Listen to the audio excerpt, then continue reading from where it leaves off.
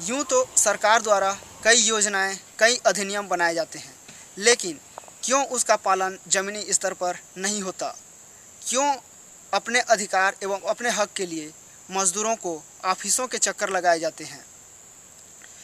ग्राम सरेपाली के तथा आसपास के लगभग चार से पाँच पंचायतों में मनरेगा में काम किए हुए मजदूरी का भुगतान नहीं हुआ है, जिससे सन कुमारी एवं लगभग 300 से ऊपर मजदूरों को मजदूरी भुगतान के कारण बहुत सारी दिक्कतें हो रही है।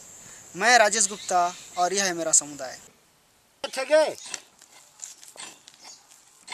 पैसा कौड़ी ला नहीं पात हन हर तिहार बाहर भाग गिस और कौन जेठ महीना ले बोहे हन माटी कोई गाँव ग्राम ला पूछत हन तहुले हाँ देबो कहत हैं नहीं देत हैं देत नहीं न लेत नहीं हाँ हाँ कहत हैं ओतकी के कभू हमन कति दुख भूख में बोहे हन और चारा ना पैसा नहीं पात हन तो कौन लाओ कबो तो कौन कहाँ ठी हमन पाबो ई पैसा ला सन से वहाँ तक चल देहन न।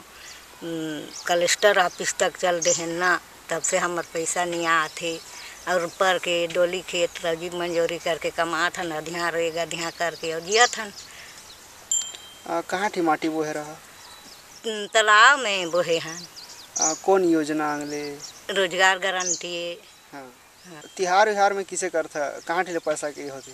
कहाँ थी ले लान बो उधार पैंच लान के खथन पीथन। तब किसे छूटता फिर? फिर कोई कोनी रोजी रोज़गार मंजूरी फैक्ट्री सेक्टरी ले आन उन्हीं के छुड़थन भूती करके गौटिया बन के भूती जाथन त आन उन्हीं के छुड़थन पैसा कौड़ी ला।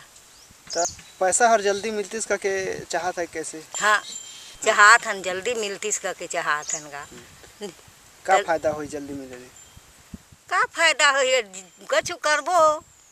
नहीं लागा बोड़ी छूटबो। देख लागा बोड़ी अ, हमर गरीब मन के औ का लागा बोड़ी के का दुकाल है?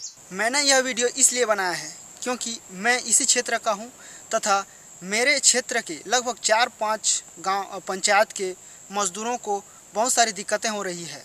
और इन्हीं सभी दिक्कतों को देखते हुए यह वीडियो बनाया।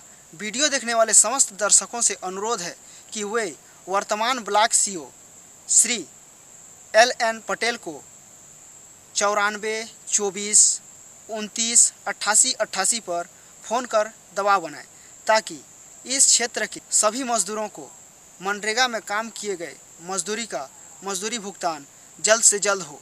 मैं राजेश गुप्ता, जिला रायगढ़, छत्तीसगढ़ से इंडिया अनहर्ड के लिए।